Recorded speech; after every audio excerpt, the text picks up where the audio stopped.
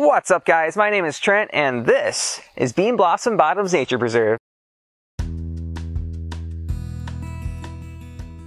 Beanblossom Bottoms Nature Preserve is located only a few minutes outside of Bloomington. The 598 acre preserve is maintained by the Sycamore Land Trust and its unique qualities make this one of my favorite preserves in the area. Upon entering the preserve, you'll be greeted with a short gravel walk to the main trailhead. From here, you'll see immediately what sets this trail apart. The main walk is made up entirely of a raised wooden platform, and for good reason. Beanblossom Bottoms is built on top of a large wetland. Along the two and a half mile walkway, you'll come across several observation decks providing you the opportunity to relax and enjoy the various plants and animals. You'll see swamp white oak, cottonwood, and silver maple trees, rare orchids, frogs, great blue heron, bats, Kirtland snakes, Henslow sparrows, and, if you're really, really lucky, even a bald eagle. Now that you know a little about the park, sit back and enjoy the video.